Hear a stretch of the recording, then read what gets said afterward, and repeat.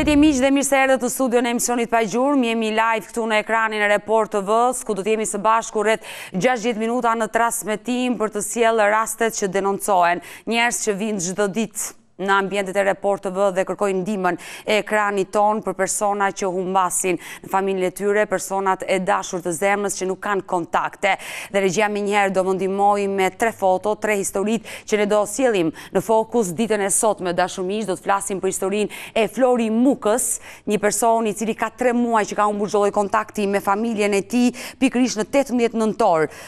ka humbur kontaktet dhe nuk dihet se çfarë ka ndodhur me fatin e dyzet e nëntë vjeçarit nga Korça, motra e tij, Dallëndyshe Muço ka kërkuar ndihmën e medias tonë. Do të flasim për Hyrie Çikopanën, dashur miq, një gjashtëdhjetë e gjashtë vjeçare nga Tirana, e cila dhe ajo ka humbur kontaktet me bashkëshortin dhe me djalin e saj këtu në Tiranë përpara tre muajve dhe ajo, po ka qenë data 15 nëntor, ku Hyria largohet dhe nuk dihet se çfarë ka ndodhur me fatin e saj. Mesditën e sotme ne do sjellim në fokus dhe historinë e Sokol Tervolit, dashur miq nga Gramshi, një i ri që humbi kontaktet në rrethana misterioze nga Italia, nga Firence e Italisë dhe familjarët nuk kanë asnjë informacion se çfarë mund të ketë ndodhur me fatin e Sokol Tervolit. Do të jem në një lidhje sot me motrën e tij, pasi është personi i fundit që i ka dëgjuar zërin në familje dhe pas asaj telefonate Ai fiku telefonat, u zhduk dhe familjarët nuk dinë. Do të flasim mesditën e sotme për këto tre histori, por nëse ju i njihni një prej këtyre personave, këto foto që ne po japim ditën e sotme, mos hezitoni,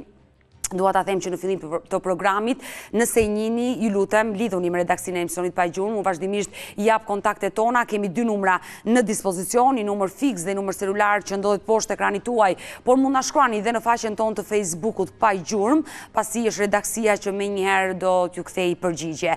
Mirë, të ftuar në studio ditën e sotme kam Anesti Çikopani, bashkëshortin e Hyries. Përshëndetje Anesti. Mirë se ju gjeta. Si jeni? Faleminderit, mirë. S'ke ça të jemi më mirë? Tre muaj që kërkon mm. çdo ditë nëpër Tiranë dhe asnjë gjurmë asnjë gjurmë të bashkëshortes. Kam, kam, disa herë kam pas raste që më kanë thënë, jo te Tiku Taku në Tiranë të Re, e kanë pyetur, jam 62 vjeçe, i ka, i ka thënë kjo. Në realitet, kjo është 66 vjeçe. Por, duke ditur problemet që ka pasur bashkëshortja, ndoshta nuk është edhe në gjendje të mbajë mend sa vjeç është si quhet, sepse ka pasur probleme të shëndetit mendor. Pensionin, Kështu ka tre muaj që s'ka me marrë pensionin. se është e humbur. Hmm. Kështu që mos i merr për bazë informacione se çfarë thotë ky person që dyshohet që është bashkëshorti. E rëndësishme është që njerëzit që e shikojnë të japin adresën, vendndodhjen e saktë ku edhe ne mund të shkojmë edhe Po, policia dhe po. ju.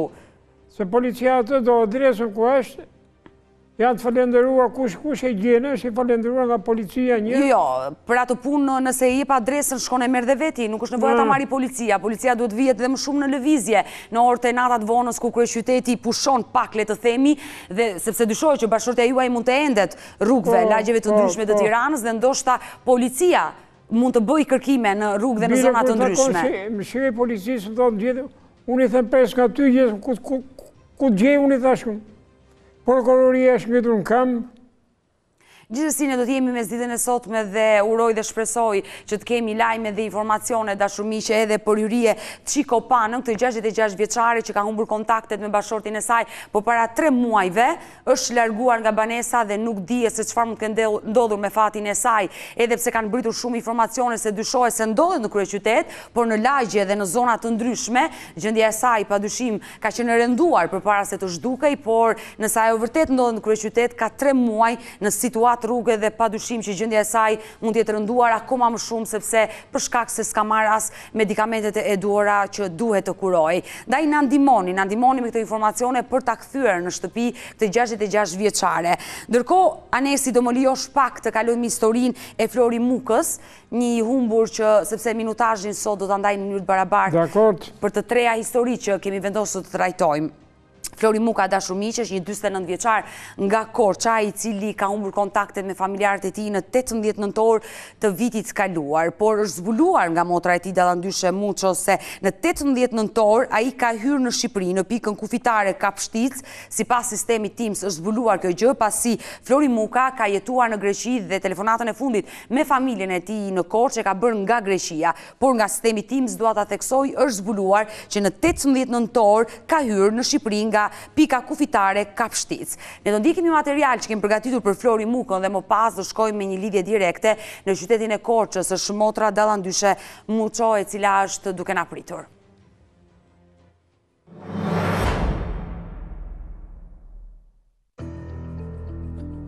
Një 49 vjeçar në Korçë ka humbur kontaktet prej 3 muajsh me familjen e tij. Flori Muka rezulton se ka hyrë në territorin shqiptar nga Greqia më datë 18 nëntor dhe që prej asaj kohe familjarët nuk kanë kontakt me të. Dallandyshe Muço, e motra e 49 vjeçarit shprehet se i vëllai pasi kthehej nga puna nga shteti grek Qëndronte shpesh në shtëpinë e saj. Ajo rrëfen se herën e fundit që ka qëndruar, ka pasur një debat me të vëllanë. Informacionin e fundit që di për Florin është se ai i kishte thënë motrës tjetër që do të shkojë në Sarandë të punojë me grumbullimin e mandarinave.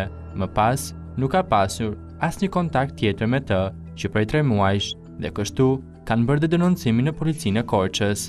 Nga data Tetëmbëdhjetë, që më ka folur djali, që nga, vëllai, që nga Greqia, që ka hyrë në doganën shqiptare, vetëm me një paketë cigare dhe asgjë tjetër në xhep s'kishte, na ka thënë doganieri.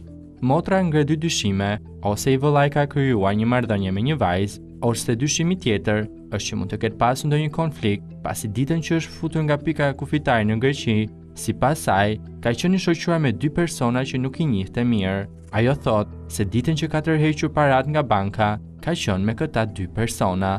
Edhe them kështu tashi, se mos është lidhur me ndonjë atje dhe nuk do. Edhe këtë, mirëpo ai tashi siç e morëm më mbrapa, e kishin marrë çunat, e kishte marrë dhe ai pronari i kishte thënë, ai si person ishte shumë i mirë, kishte thënë, po ata dy çunat që kishte, kishte thënë, mua nuk m'u dukën të mirë. Po se pe nga janë, se si janë, si qysh, Për këta dy them unë, po për këta dy them unë që kam dyshime, po edhe tjetri për 50.000 lekë as nuk ma merr mendja që ta vrasin. Vetëm kaq mora vesh që kish takuar gocën, se goca i ka hequr dorë, siç i vdiq e ëma, se i ka vdekur e shoqja, Siç i vdiq e ëma, i kish vajtur, kish takuar gocën, goca i kish thënë, të lutem shumë, mos më bezdis, i kish thënë, se nga sebeti jot, mua m'iku mamaja. Edhe unë për mua jini të dy të vdekur, kish thënë, e bija. Pandaj e zgjatëm dhe kaq, se ai thoshte, nuk dua të flas as edhe me një njeri. Nuk dua të flas as me një njeri, nuk dua të më kërkoni, edhe atij djalit të motrës ky që ka bërë denoncimin, ashtu i kishte thënë. Vetëm me ty, kish thënë, po flas, po numrin tim nuk do ta jepni, Se nuk dua të flas as edhe me një. E motra e bëri denoncimin për zhdukjen e të vëllait më datë njëmbëdhjetë shkurt, ndërkohë sipas verifikimeve rezulton se dyzet e nëntë vjeçari, Flori Muka, ka hyrë në Shqipëri nga Greqia më tetëmbëdhjetë nëntor dy mijë e njëzet e tre.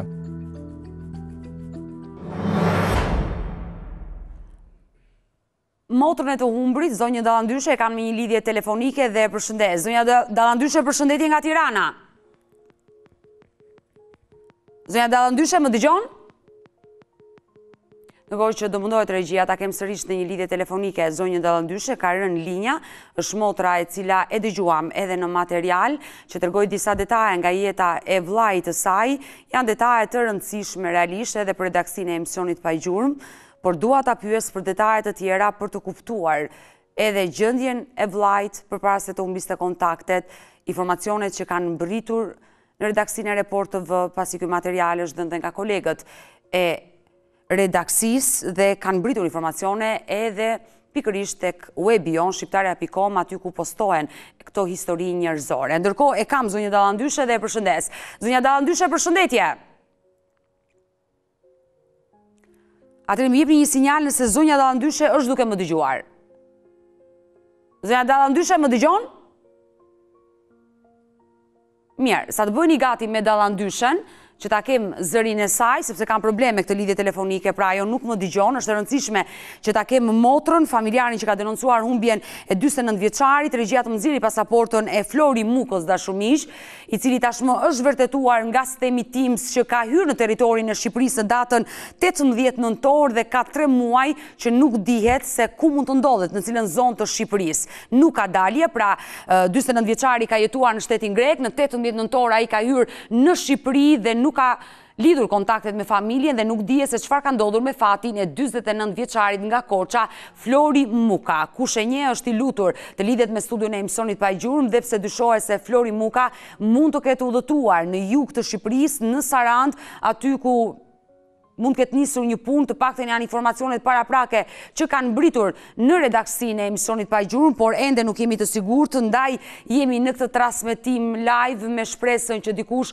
do na ndihmojë për një adresë, për një numër telefoni për të na dhënë sa më shumë informacione për Flori Mukën. Mirë, do të vazhdoj me historinë e Flori Mukës, sa të bëhemi gati që të kemi motrën e tij, por do të kaloj tek historia tjetër, sepse mesditën e sotme do të flasim për tre persona që kanë humbur kontaktet me familjarët e tyre dhe është pikërisht familja, familjet e tyre që kanë denoncuar rastet në ekranin tonë Report TV. Do të jemi te Sokol Tervoli dhe regjia të më vendosë fotot e Sokol Tervolit, 45 vjeçari nga Gramshi dashamirës që ka humbur kontaktin me familjen në maj të vitit 2004 nga Firence e Italisë. Një histori e mbushur me mister, sepse Sokol Tervoli ka qenë së bashku me katër persona të tjerë që ka jetuar në Firence, një grup të rinjësh nga Gramshi që ishin vendosur në Firence dhe në fakt me zhdukjen e Sokol Tërvolit u zhduk pas një kohe edhe një shok i tij dhe pas një kohe të gjatë nga humbja e dy shokëve, një tjetër shok gjendet i vdekur i pajetë në Firence të Italisë. Një histori e mbushur me mister, po unë do kem në një lidhje telefonike motrën e tij për të na dhënë më shumë detaje dhe me shpresën që shqiptarët Sidomos ata që janë nga Gramshi dhe kanë njohur Sokol Tërvolin mund të na ndjekin mesditën e sotme dhe anonim mund të lidhen me redaksinë e Report TV për të na dhënë një sinjal për të ndezur një dritë jeshile për historinë e dyzet e pesë vjeçarit. Ndjekim materialin e Sokol Tërvolit dhe rikthehemi në studio.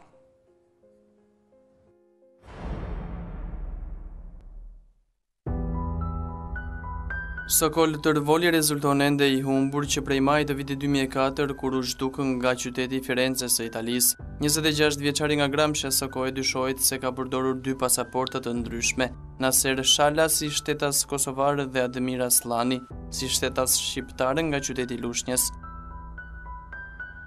Në Itali ka jetuar bashkë me një grup bashkëmoshatarësh nga Gramshi, kohë në të cilën në maj të vitit dy mijë e katër zhduket dhe një tjetër shok i tyre, i cili në shtator të po atij viti u gjet i vdekur. Një ditë më pas e ka telefonuar e motra, ndërsa ai është shprehur se për shkak të një feste zyrtare në shtetin italian, nuk ka mundur dot të presë biletën. Udhëtimin e kishte shtyrë për ditën e dytë, por ky ishte kontakti i fundit me njëzet e gjashtë vjeçarin dhe më pas Telefoni i tij i rezultoi i fikur. Në Firence dyshohet se i riu merrej me punë të jashtëligjshme ndërsa të afërm të tij kanë pohuar se kur e kanë parë gjendja e tij psikologjike nuk ishte fort e mirë. Shenja dalluese, Sokoli ka tatuazh të dukshëm një dragua në krahun e majtë, Si dhe një të çarë në vetull, po në krahun e majtë. Çfarë ka ndodhur vallë me djalin nga Gramshi? U zhduk në mënyrë të vullnetshme për të humbur gjurmët apo u eliminua nga pjesëtarë të grupeve kriminale.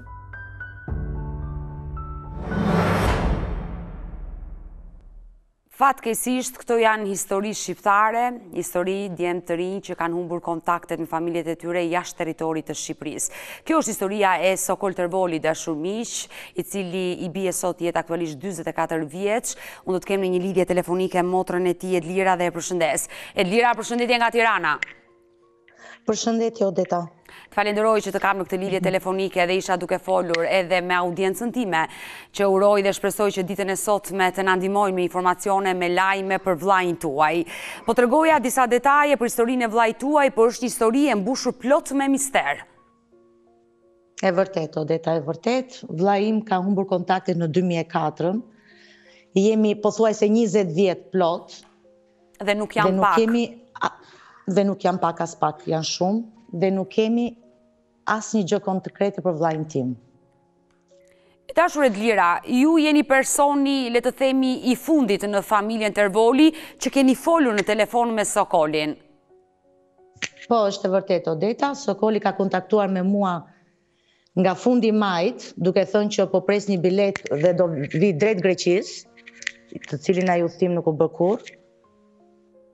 Dhe ja ku ndodhemi sot pas 20 viteve pa asnjë lajm. E qartë, ndërkohë ti ke pasur kontakte të rregullta me vllain dhe ndoshta edhe sekretet ai i ka ndarë me ju.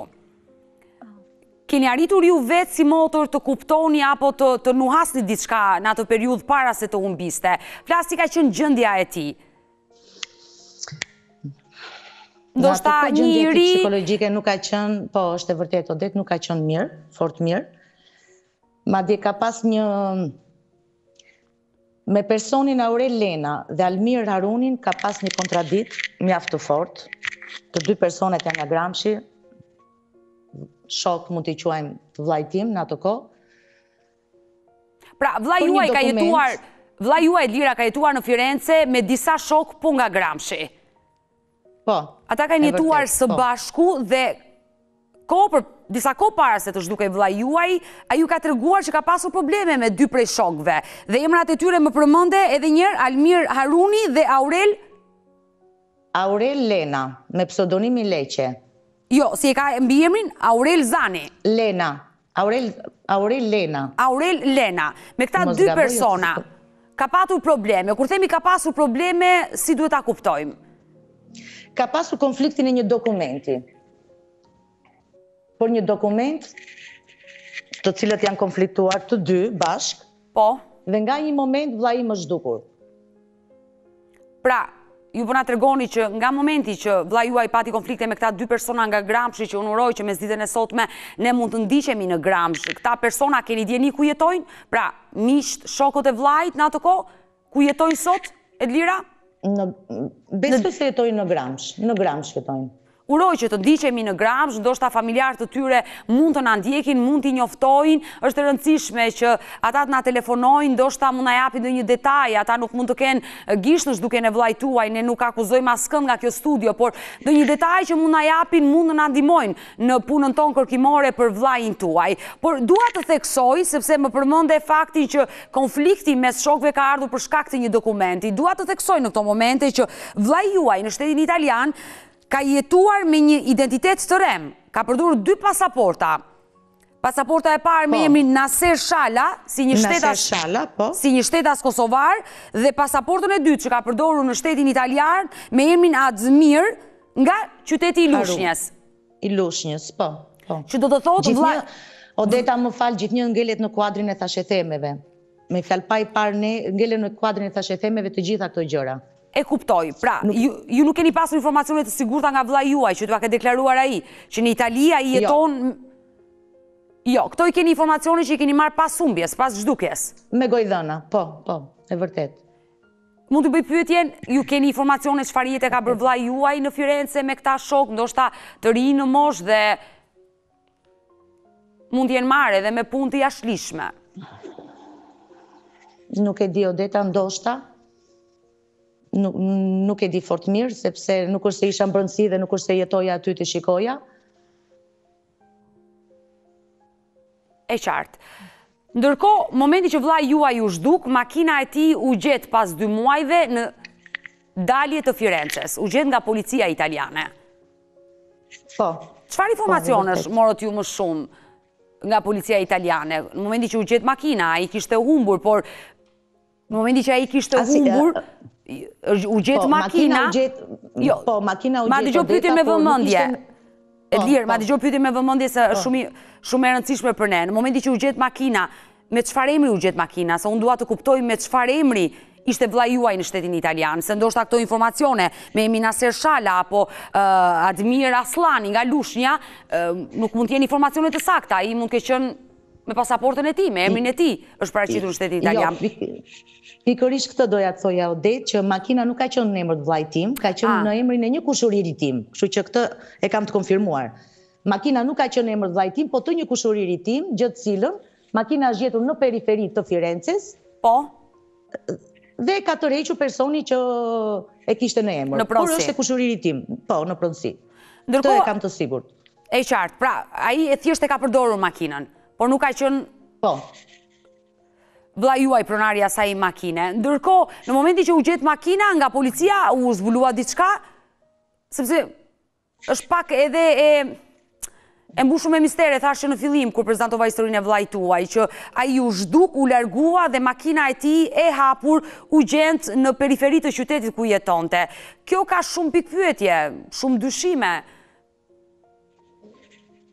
Odeta, në, në raste kur makina lihet shumë kohë në një, në një rrugë, thjesht vijnë dhe e ngrenë dhe e çojnë në depozitë. Pra nuk ishte ndonjë shenjë dyshimi brenda në makinë. Jo. Pra ishte një makinë e braktisur që tërhiqet nga aty dhe çohet në depozitë. E kuptoj, e kuptoj qartë, por kur personi që e përdorte makinën figuron i zhdukur,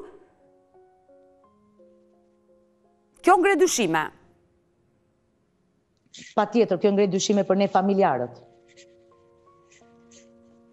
Kushëriri i cili e kishte në pronësi makinën, çfarë ju ka treguar? Ndoshta ai ka pasur kontakt drejtpërdrejt me vëllain tuaj, ai mund të dijë më shumë detaje, mund të dijë situatën e tij, problemet e tij, mund të dijë gjendjen e tij psikologjike. Çfarë ju ka treguar kushëriri për Sokolin?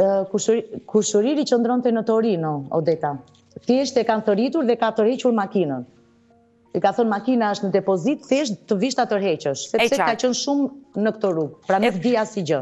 E kuptova qartë. Ju na keni treguar Elira që në momentin që vëllai u zhduk dhe ka qenë telefonata e fundit, mos gaboj, maj, mezi i majit 2004, po.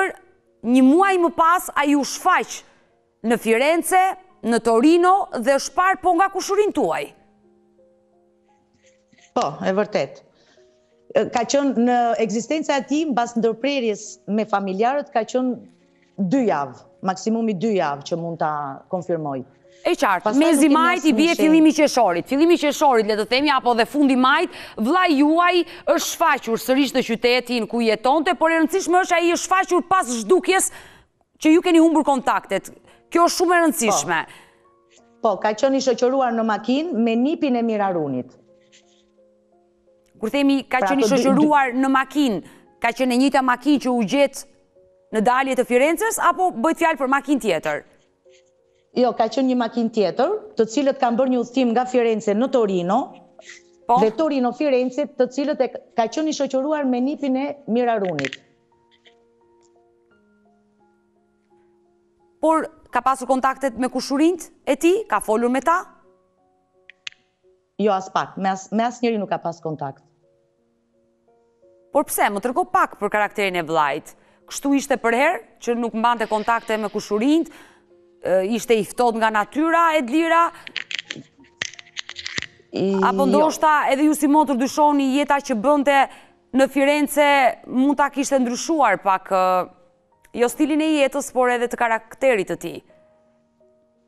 Jo, Odeta, aspak, ai dhe kur qëndronte në Firence, para humbjes, fliste shpesh me neve, na shkruante shpesh, pra ai kishte telefonata shumë të shpeshta, dy, tre herë në ditë fliste me mua, me mamin, me motrën, me vëllain, nuk kishte gjëra të këtilla. Atë thjesht e shëndrroi Njerëzit me të cilën rrinte, konflikti me të cilën pati, Problemet që iu krijuan, po më tregon, problemet që iu krijuan kohët e fundit. Po. Po. Ai nuk kishte folur asnjëherë me ju, me asnjë familjar, pra ju nuk jeni në dijeni për problemet që ai mund të ketë hasur në shtetin italian. Problemi i vetëm që të cilën ai u shpreh ishte kontakt, ishte kontradikta që kishte me Mira Runin për shkaktimin e një dokumenti. E qartë. E dashur Edlira, vëllai juaj më tregove, përmendëm dhe emra ditën e sotme dhe uroj që gjithë emra që përmendëm këta njerëz të na dëgjojnë dhe të na telefonojnë. Ajo që mua më bën këtë histori akoma më të vështirë, është që vllai ka jetuar me shumë shokë nga Gramshi në Firence. Por nuk është vetëm i zhdukur po. vllai juaj, është dhe një shok i tij, po i zhdukur. Po, mbas dy muajve është zhdukur edhe Klodian Kaptelli, një djalë tjetër, po nga Gramshi moshën e vllait tim. Dhe mbas një muaji ka ardhur një djalë tjetër i vdekur, i vrarë, në shtetin italian dhe i sjellë në Shqipëri. Personi që erdhi i vdekur në Gramsh ka qenë shoku po. i vllait tuaj? Nuk e di se sa shok, por për arsye se Gramshi është një rreth i vogël Odeta, ne njihemi. Pra, dashje pa dashje ne njihemi dhe nuk e di se sa shok mund të ketë qenë, por i njohur po.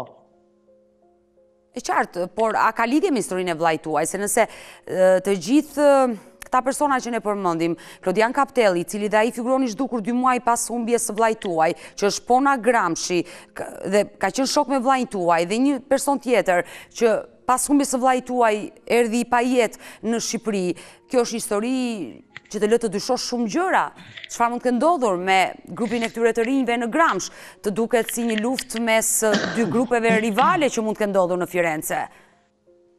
Pikërisht dhe dyshimet ngrihen gjithmonë tek këta dy persona, Odeta. Më vjen keq, duhet t'i përmend, por këta dy persona, nëse do ishin shokët e vllait tim, Po, si ka mundësi nuk kanë ardhur një herë në shpi, një herë të pyesin, të interesohen, çfarë u bë? Ku është? Çfarë ndodhi? Pretendojnë se ishin shokët e vllait tim. Ju Edlira, nga momenti që keni humbur kontaktet me vllain dhe deri më sot kur them ju edhe pjesëtarë të tjerë të familjes kanë mundur dot t'i kontaktojnë këta persona në Gramsh, pra Flasim për Almir Harunin dhe Aurelin. Po, unë personalisht Odeta nuk kam mundur. Jam munduar kur kam shkuar dhe në Firence, u kam shkuar dhe ke shpia këtu në Tiranë, por nuk kam mundur të kontaktoj. Kurse njerëzve të mi nuk u ndalojnë, pra nuk kërkojnë atë pjesën e e bashkëpunimit, pra nuk nuk tentojnë as të ndalojnë, as të flasin. Unë personalisht nuk kam mundur t'i takoj këta persona. Ndoshta nëpërmjet këtij programi që po bëjmë ditën e sotme, ata mund ta dëgjojnë dhe mund të reagojnë. E uroj që të ndodhë kjo gjë, por ndërkohë me familjen e e Klodian Kaptellit që figuron dhe ai i humbur, keni mundur dot të kontaktoni? Dy të rinj nga Gramshi që humbasin nga i njëjti qytet nga Firence e Italisë dhe humbasin njëri pas tjetri, muaj pas muaj, në maj vëllai juaj në qeshor Klodiani mos gaboj. Po, po, diçka e tillë në, në korrik ka qenë Klodiani, po. Po, i njëjti vit. Keni mundur dot të flisni me atë familje? As me ata nuk kam mundur të lidhem Odeta, deri diku para 15 viteve kemi qenë në kontakt në një kohë që edhe ata e kanë kërkuar. Po, fëmijën e tyre, ose me fjalë vllain e tyre, motra, gjë të cilën nuk i shof sot t'i kërkojnë, nuk e di pse. E dashur Edlira, ne jemi bashkë në transmetim dhe ne presim telefonata, informacione dhe tani po më shkruajnë nga redaksia që ka mbërritur një informacion përpara se do të jap disa detaje, ndoshta nuk bëj mirë ta publikoj të gjithë informacionin e plotë pa e verifikuar. Unë tentova të të të bëja pyetje që a keni pasur dijeni për jetën që vllai ka bërë në shtetin italian, sepse historinë që ti po rrëfen të duket sikur kanë qenë dy grupe rivale që janë ndeshur dhe kanë humbur jetën edhe të rinj dhe këto janë faktike se ti na i tregove shumë miq të vllait, njëri ka humbur jetën, tjetri figuron i zhdukur. E keni dyshuar Si familjarë që ndoshta vllai mund të jetë marrë me punë të jashtëligjshme në shtetin italian? Po, edhe kemi dyshuar Odet. Dhe po. ky largimi i papritur ka të bëjë pikërisht me punën që ai ka bërë në shtetin italian? Po.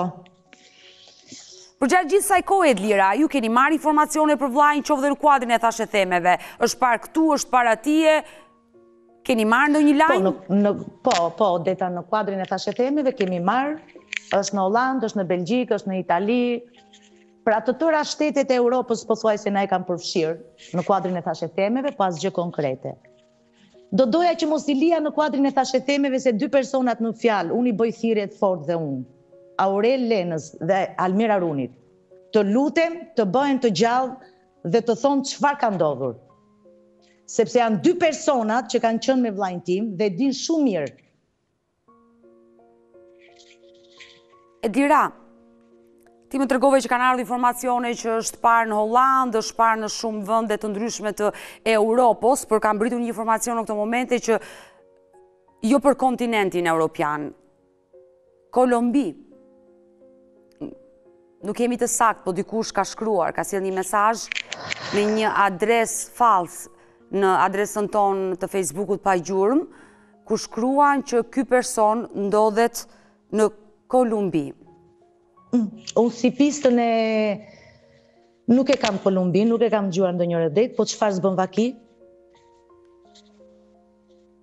E në fakt, duke menduar se çfarë ndodh me shqiptarët në atë vend, kemi dëgjuar lajme, kemi përcjellë nga ekrani lajme jo të mira për shqiptarët në Kolumbi, por ky është informacioni i parë që ka mbërritur, unë s'dua të jap shumë detaje se nuk jemi të sigurt. Na ka ardhur një mesazh, po. kaq dua të deklaroj, se ndoshta nëna juaj është duke na ndjekur në këto momente, dhe unë e di që ajo e përjeton shumë, Si çdo nënë humbjen e djalit, por kur dëgjon edhe informacione të pakonfirmuara, nuk dua të rëndoj dhe gjendjen e saj shpirtërore, por ka ardhur një mesazh nga një adresë fallc, që nuk ka foto, nuk ka një emër, një mbiemër dhe duket sikur një person është duke na ndjekur në këto momente dhe menjëherë mund të ketë hapur një profil fallc dhe na ka dërguar këtë mesazh që ndoshta mund të jetë një dritë jeshile që mund të ndizet nga studio e emisionit Pa Gjurmë, por duhet të jemi me këmbë në tokë për të ditur çfarë hapi duhet të hedhim ne tashmë për të nisur kërkimet.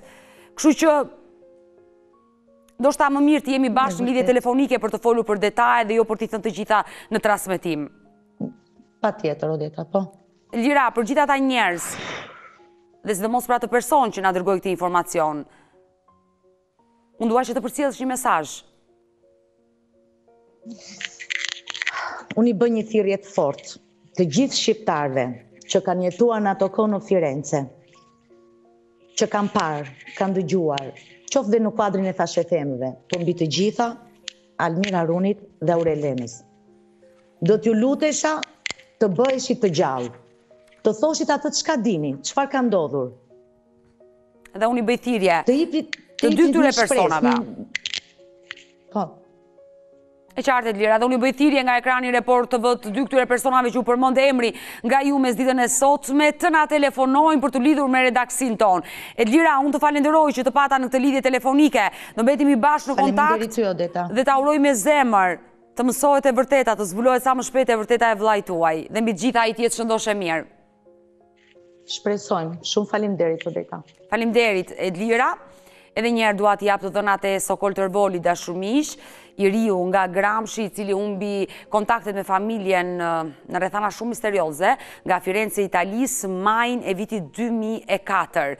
Nga ai vit kanë kaluar plot 20 vite dhe familjarët ende nuk kanë informacion, majin e këtij viti 2024, nëna e tij ka plot 20 vite që nuk i dëgjon zërin dhe pa dyshim e vuan mungesën e të birit dhe kërkon ndihmën e Pa Gjurmës, kërkon ndihmën tuaj dashur miq, ju që mund të dini të vërtetën, por mund të na telefononi qoftë dhe anonim, ka plot mënyra për të na dhënë informacione, për të hapur një adresë false, siç ka ndodhur tani në këto momente, këtë dyshojmë nga një person që na dha një informacion, ka plot mënyra për të na dhënë informacione, për të ndezur dritë jeshile dhe për të arritur në gjurmët e këtij personi që kërkohet në studion e emisionit Pa Gjurmë. Pastaj do të jemi ne ata që do të jemi të kujdesshëm për të hedhur hapat dhe jo për të thënë gjithçka në transmetim. Uroj që të gjendet Sokol Tërvoli. Mirë, do të kalojmë në reklama, rikthehemi në pjesën e dytë, vetëm për pak minuta.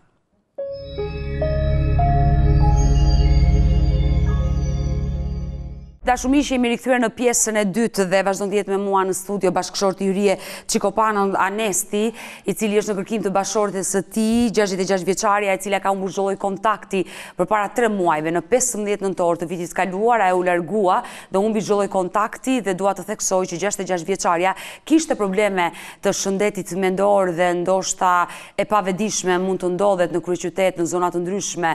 Bashkëshorti ka bërë denoncimin në polici, ndërkohë që me të birin ka kërkuar kudo çdo informacion që ka mbërritur në studion e emisionit Pa Gjurmë, ata kanë shkuar për të folur me dëshmitarët, për të shkuar në vendet ku e kanë parë, por fatkeqësisht kjo 66 vjeçare figuron ende e humbur. Ndërkohë që ne do flasim ditën e sotme dhe unë uroj që të marrim lajme edhe informacione, por më njofton regjia Anesti të kërkoj ndjesë që Flori Muka, i humburi që prezantova në fillim të programit dhe motra e tij Dallandyshe që patëm një problem me lidhjen telefonike, e kemi gati tani dhe dua ta përshëndes. Dallandyshe, përshëndetje! Ja, Më dëgjon qartë? Po, po, shumë mirë.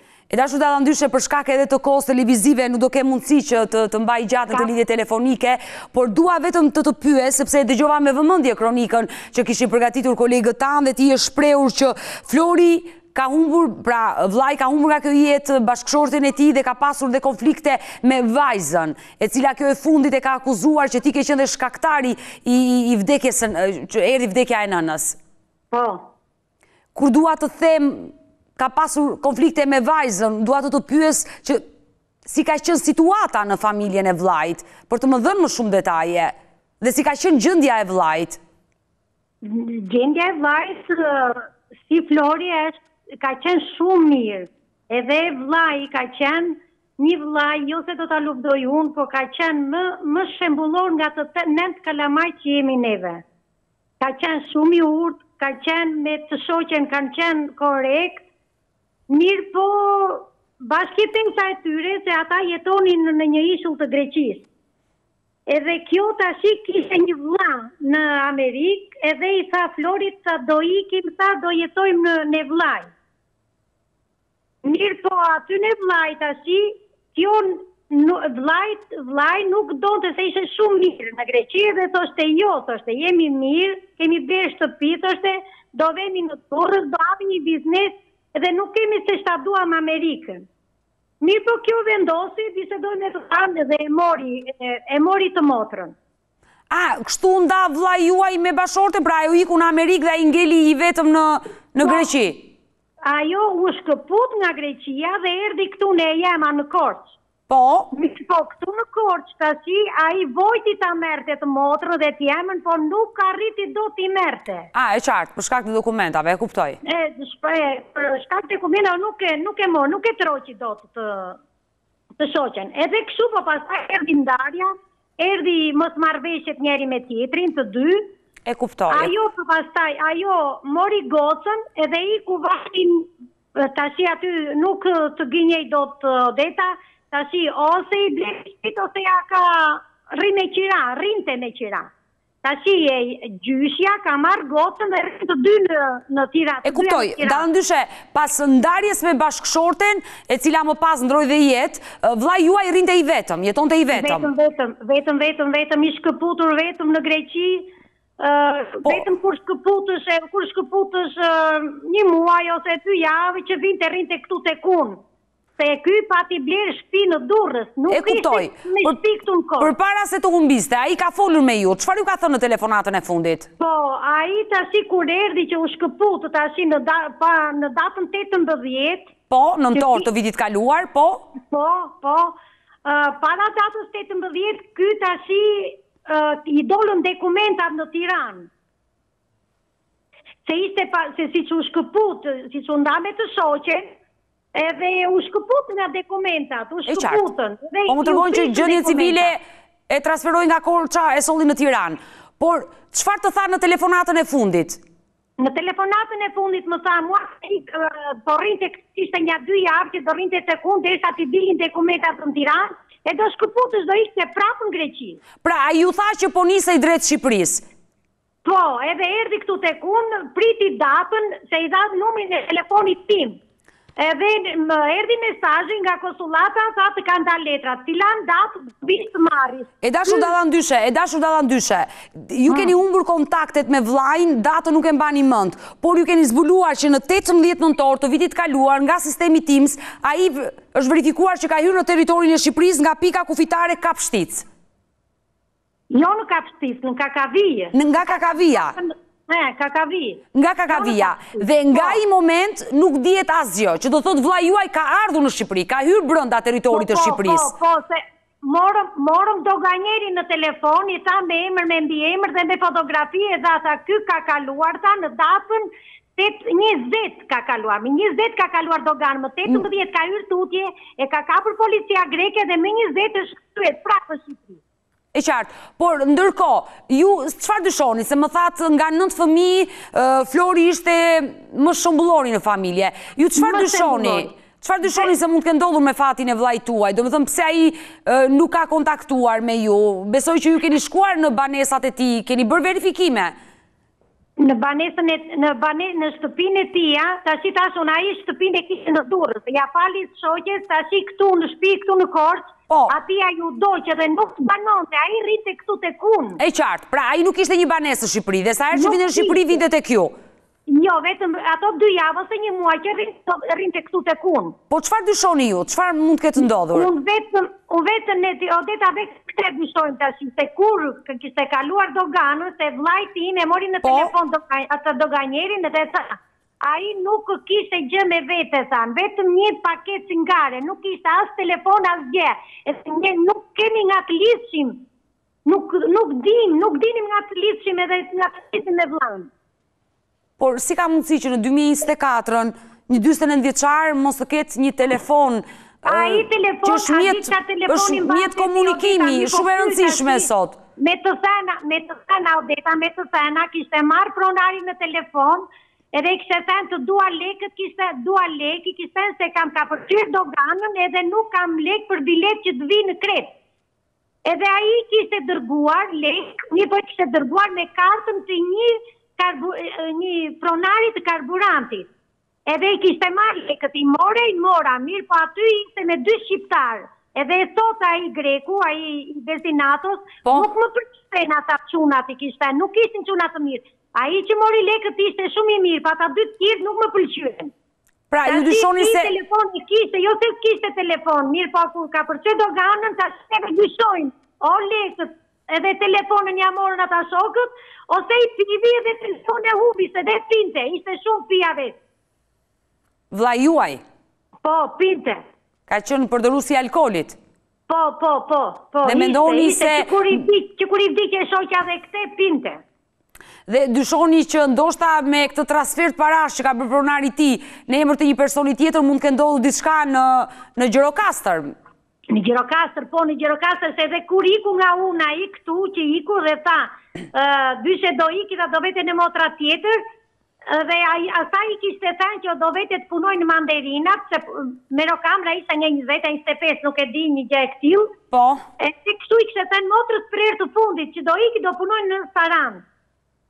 Unë uroj dhe shpresoj që vllai juaj të jetë shëndoshë e mirë, mos ketë ndodhur asgjë e keqe me fatin e tij dhe pse ju si motër dyshoni te këta persona. Dyshojmë Odeta dhe një, dhe një të dhënë do ta jap, dyshojmë se mos jetë Se ngaqë nuk kishte, telefon s'kishte, edhe punë nuk kishte në nga Saranda, dyshojmë se edhe ai punonte dhe çoban, vinte dhe çoban. Pra dyshoni se ndoshta mund të ketë shkuar në jug të Shqipërisë në Sarandë dhe ka nisur aty punë? Po, mos ka hyrë çoban, ngaqë s'kishte lekë, edhe telefon s'kishte, edhe ka ca kohë që ai ishte pëto se çoban, se nuk ka tashti se të tërë tufat e bagëtive nisen në jug të Shqipërisë, E kuptoj.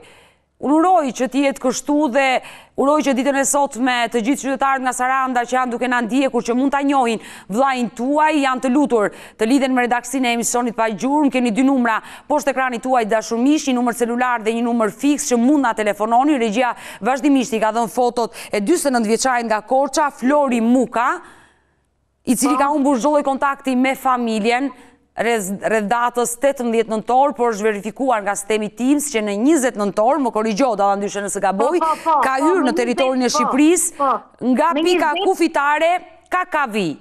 Po. Dhe në Gjirokastër, ai ka tërhequr një shumë parash që pronari i tij grek i ka sjellë dhe motra dyshon se ndoshta personat që ka qenë, që e kanë shoqëruar vllain, mund të ketë ndodhur ndonjë konflikt për shkak të parave dhe mund t'i kenë marrë paratë dhe telefonin dhe kështu vllai ka ngelur edhe pa telefon dhe nuk dihet se si mund të ketë vazhduar rruga e tij. E keni menduar që ndoshta mund të jetë rikthyer sërisht në Greqi? Po, po, nuk, nuk ka mundësi Odeta se tashi vllezërit flasin me doganierët. A ka hyrë, jo, në ka hyrë në tembë, po në mënyrë ilegale. Në mënyrë ilegale po flas. Po, po në këtë nuk e dimë. Gjithsesi ne e prezantuam Dallandyshe ditën e sotme historinë e vllait tuaj, uroj dhe shpresoj që të marrim informacione. Shumë faleminderit. Kemi besim, Odeta, kemi shumë shumë besim tek ti. Shumë shumë faleminderit. Dhe unë kam besim te teleshikuesit e Report TV, tek ata që na ndjekin dhe na ndihmojnë me informacione. Ke një mesazh të fundit për të përcjellë për vllain besoj. I lutem, i lutem Florit Në ka, në ka zemër, në ka shpirt për atë mama, për babi dhe për vllezër e për motra, vetëm një telefonatë të na bëjë që jemi mirë pa le të jetojë ku të dojë. Të falenderoj, të falenderoj, Dallandyshe dhe ta uroj të lidhesh sa më shpejt me vllain. Shumë faleminderit, shumë faleminderit. Të përshëndes, të përshëndes nga Tirana dhe çdo informacion që do vi Mesditen e sotme ne do t'ju njoftojmë, edhe një herë dua të jap të dhënat e Flori Mukës, dyzet e nëntë vjeçari nga Korça dashur miq që ka humbur kontaktet me familjen në tetëmbëdhjetë nëntor të vitit të kaluar. Tre muaj dhe familjarët ende nuk kanë informacion, por nga verifikimet rezulton të jetë në territorin shqiptar. Kush e njeh, mos të hezitojë të lidhet direkt me studion e emisionit Pa Gjurmë. Do të kaloj në Këto momente te historia e Hyrie Çikopanos, dashur miq gjashtëdhjetë e gjashtë vjeçarja nga Tirana që ka humbur kontaktet me familjarët e saj, me bashkëshortin, Anestin dhe me djalin e saj në rrugën Ndre Mjeda në pesëmbëdhjetë nëntor të vitit të kaluar. Edhe Hyrie Çikopano ka plot tre muaj që nuk ka asnjë kontakt me familjarët dhe nuk dihet se çfarë ka ndodhur me fatin e saj. Anesti, bashkëshorti, vazhdon të jetë në studio me mua, por ne fillimisht do ndjekim një material Që kemi përgatitur për gjashtëdhjetë e gjashtë vjeçaren dhe rikthehemi në studio.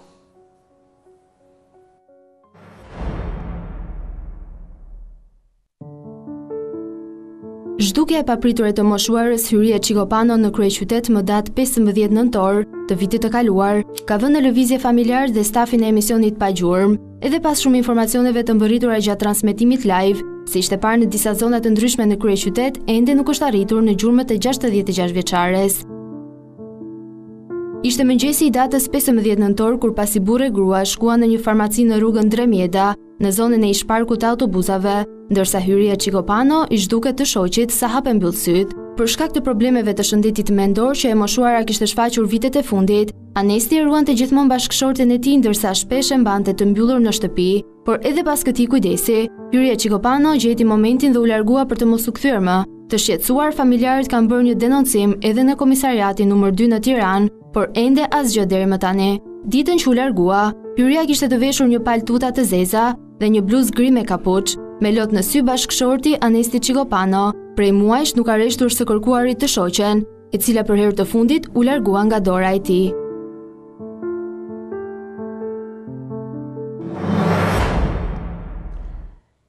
I dashur Anest, ju banoni shumë afër me ambientet e Report TV, po, dhe çdo mëngjes që vij në punë, roja te parkingu i Reportit më thotë që ka ardhur Anesti, të kërkon Anesti.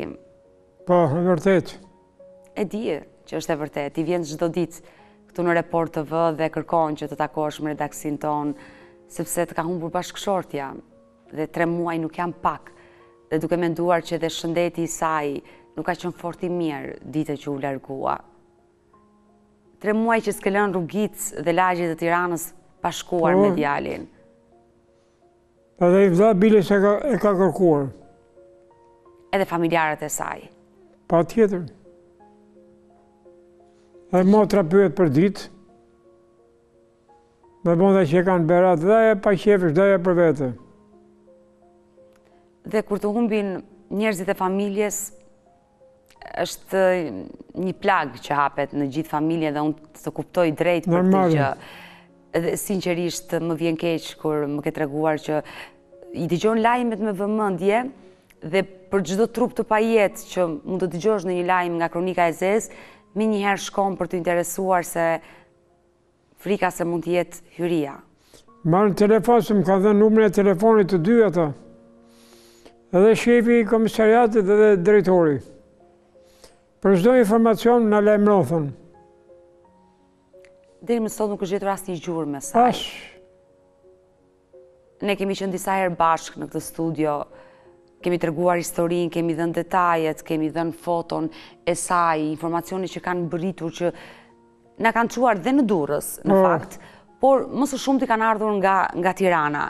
Shumë qytetarë që e kanë ndihmuar qoftë me të holla, me para, me ushqime, që tregojnë që është në një situatë rruge.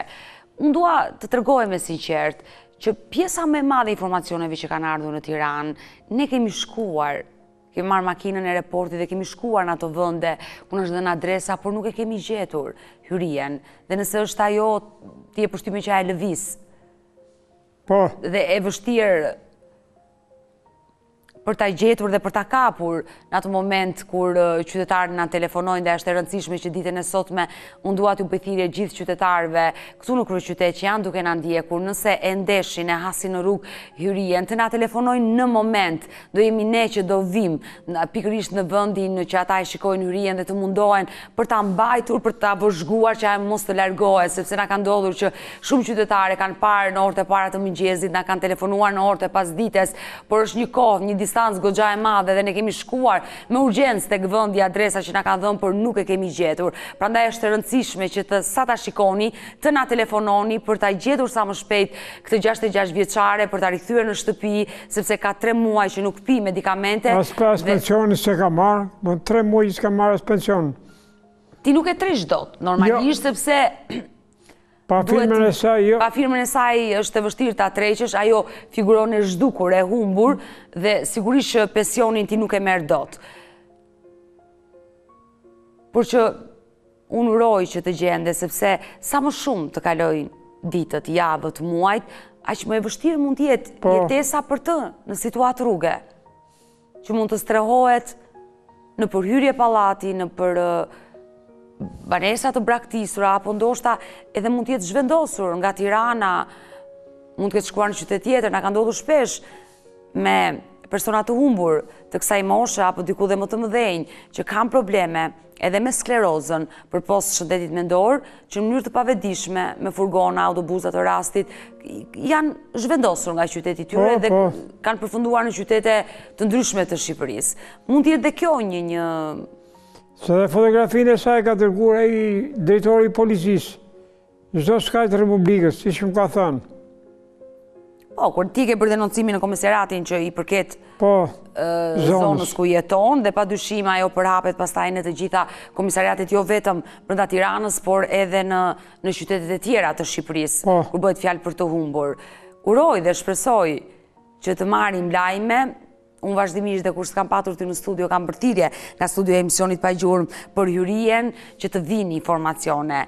Unë e di që ti sërish nesër do vish në ambientet e Report, do pyesësh. Jam e sigurt për këtë gjë, çdo ditë vjen, çdo mëngjes vjen këtu, por unë të siguroj që çdo informacion që vjen, verifikohet në mënyrën më serioze nga redaksia e Pa Gjurmët, sepse kjo është puna jonë, Dhe ky është misioni jonë. Sa dhe unë u bëra i bezdisur, u bëra i bezdisur se ngaqë bezdisësh tjetrin Jo, nuk është bezdisje. Jo, jo.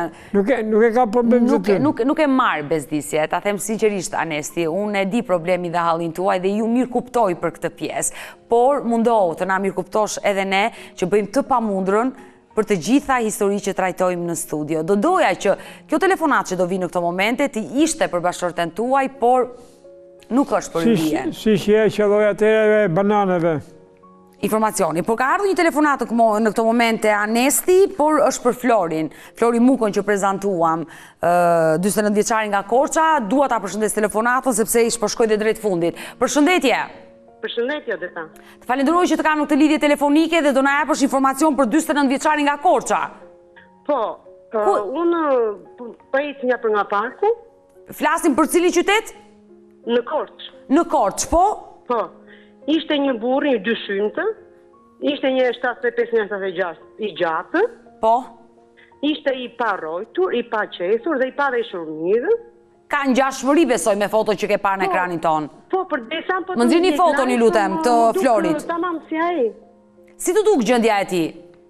Shumë e rregullt ishte, vetëm shikonte kështu si i habitur. Çfarë dite edhe njëherë të lutem, çfarë dite e keni parë?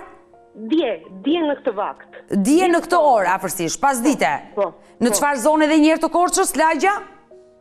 Te parku. te parku, sepse motra e tij Dallëndyshe është duke na ndjekur drejtpërsëdrejti dhe po e dëgjon këtë informacion, kështu që unë të falenderoj.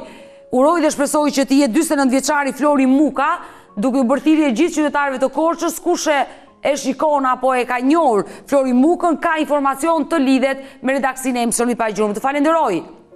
për këtë informacion. Mirë, po shkoj drejt fundit, Anes, dua dhe njëherë të jap pasaportën dhe të dhënat e gruas suaj, sepse ndihem keq kur të shikoj të trishtuar, që edhe sot s'mbërriti informacion. Këtu bërë as gjallë, as vdekur, të paktën të jetë një lajm. Se dhe kjo të ngel, të lë në ajër. Dhe më vjen keq edhe ditën e sotme, Nuk mbërriti informacion. Që do dalësh nga kjo studio... Po jo me pse? Pa një informacion për bashkëshorten. Po kur s'ka, s'ka. Por eh, jam e detyruar ta mbyll programin. Po jo me? Ka një orar fillimi dhe mbarimi dhe dua të jem korekt me programacionin tonë, por ju lutem edhe njëherë pasaportën e Yrije Çikopanos, 66 vjeçarja nga Tirana Dashumish që rezulton e humbur që prej datës 15 nëntor të vitit të kaluar, pra vetëm tre muaj